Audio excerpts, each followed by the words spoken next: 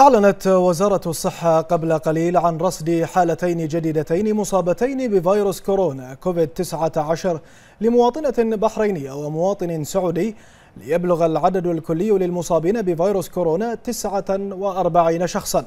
وأوضحت الوزارة أن الحالتين الجديدتين كانتا قد وصلتا عن طريق رحلات جوية غير مباشرة من إيران عبر مطار البحرين الدولي. وتم إجراء جميع التحاليل اللازمة لهما في القاعة المخصصة في المطار لفحص القادمين من الدول الموبوءة. وتم وضعهما في الحجر الصحي الاحترازي وفق الإجراءات المتبعة لحجر القادمين من الدول الموبوءة لمدة 14 يوماً.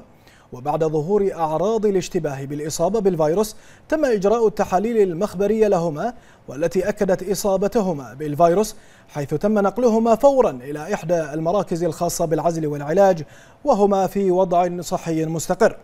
ونوهت الوزارة بأن التنسيق قائم ومستمر مع الأشقاء في المملكة العربية السعودية ودولة الإمارات العربية المتحدة لمكافحة انتشار فيروس كورونا كوفيد 19 وثمنت وزارة الصحة دعم الأشقاء ووقفاتهم التاريخية مع مملكة البحرين مضيفة بأن إجراءات الفحص صارمة ومتواصلة حماية للمواطنين والمقيمين.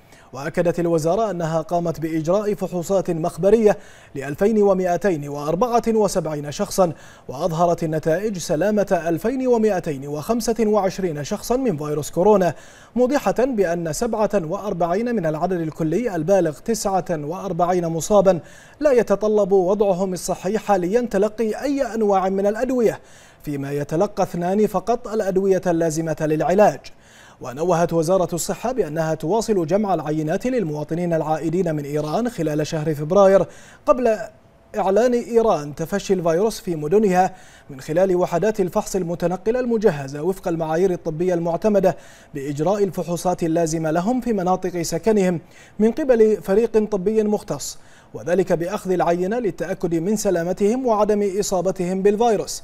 وأكدت الوزارة أنه يتم تزويد المواطنين ممن يتم فحصهم إجازة طبية مدفوعة الأجر لمدة 14 يوما بالإضافة إلى كافة التعليمات والإرشادات التوعوية.